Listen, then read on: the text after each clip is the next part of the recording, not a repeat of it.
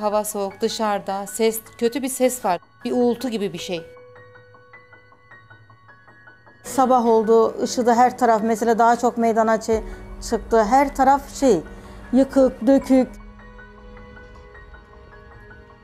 Ne yapmak, bir çareler bulmak lazım. Hı.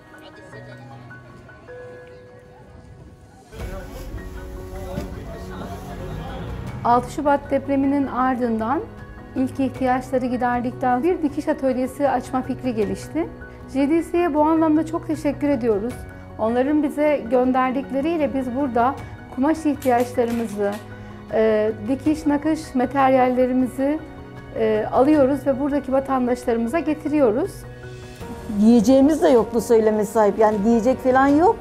Çünkü 10 gün 15 gün olmuş çamaşırlar yıkanmıyor. Yani banyo yapmamışız. Vallahi onları biz e, bulmadık. Kendileri bizi buldu yani. CDS'de olsun, Bülbülzade Vakfı'ndan olsun. Her yönden bize yardımcı oldular. Bu e, yaptıklarımız bizim kendimize şey, bize katkı sağlıyor. Kumaşları şey yapıyoruz. Mesela şalvar dikiyoruz, pijama kıyafet, kazak, bluz. Bunu dikerken hayatımıza devam ediyoruz. Bu öğrendiklerimiz ileride aile bütçemiz, bütçemize maddi manevi destek sağlayacak.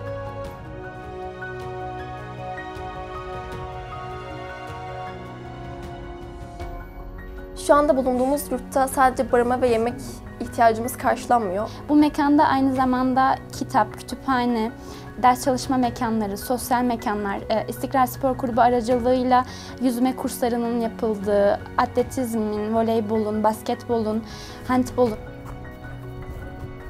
böyle e, bir evde olmamanın e, sıkıntısı e, bir ufak da olsa bir oda olması güven sağlıyor, güven veriyor. Bizim de yaralarımızın sarılması ve iyileşmemiz için böyle bir ortama da ihtiyacımız vardı. Böyle bir imkan da sağlamış oldu bize bu proje. Dış ülkelerde hiç ummadığımız yerde her tarafta bize geldi ya.